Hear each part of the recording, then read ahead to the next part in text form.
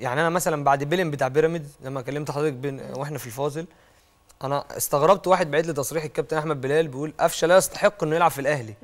وجهة نظرك أحترمها. لا بس هو قال إيه؟ دي وجهة نظرك خلاص. بس ما اساش ليا.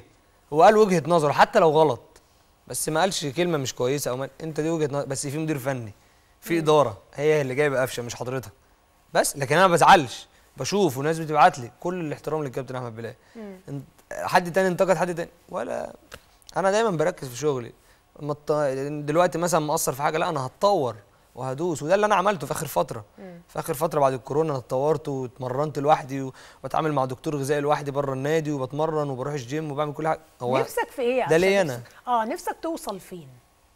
يعني أنت طبعا ده الموسم الأولاني في الأهلي آه رحلة برضو عندك 24 سنة أنت لسه صغير لسه طبعا. قدامك كتير. نفسك توصل فين؟ مين؟ أنت قلت لي مثلك الاعلى أبو تريكة. طبعا.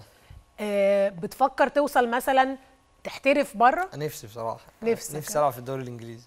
الإنجليزي برضه لأن هو مش مش مش طريقتي قوي يعني اللي هم هناك ضرب وجري وقوة بس طبعا في كورة. طريقتك أكتر إسباني يمكن. آه إسباني آه.